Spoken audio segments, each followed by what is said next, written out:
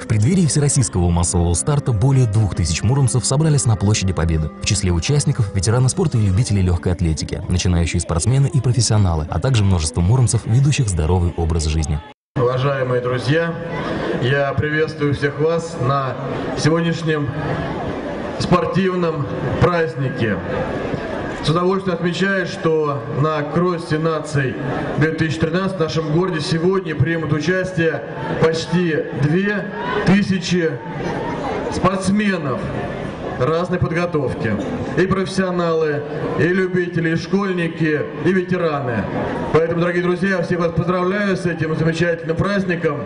И благодарю за то, что вы своим примером показываете своим друзьям, всем урамлянам, как нужно заниматься спортом. С приветственными словами со сцены также выступили депутат Законодательного собрания Владимирской области Александр Морозов и начальник спорткомитета Александр Белянцев. После напутствий в 12.00 в Муроме и по всей стране прозвучали выстрелы стартовых пистолетов.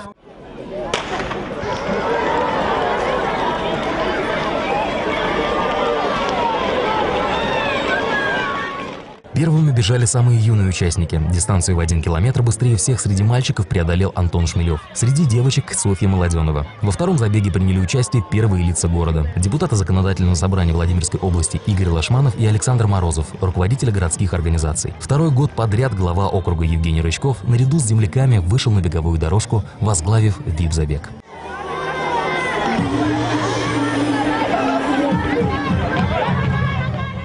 Победители чествовали на пьедестале. Каждый получил диплом и памятный кубок. Кстати, победителем ВИП-забега стал глава округа Евгений Рычков. Так что мэр не только награждал самых быстрых, но и сам продемонстрировал прекрасную физическую форму. И за первое Евгений Евгеньевич Рычков, глава округа.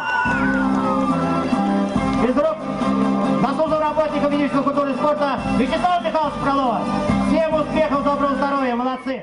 Самым опытным участником соревнований, как и в прошлом году, стала Александра Ивановна Головкина. Самой юной бегуньи Александре Ретивовой недавно исполнилось лишь три годика. Ценными подарками и абонементами на посещение катка «Кристалл» были отмечены спортивные семьи города. Семья Пасновых заняла первую ступень пьедестала. Удовольствие от праздника бега получили все участники. Кубки и медали, как водятся, самые быстрые. Александр Сидоров, Новости 24, Муром.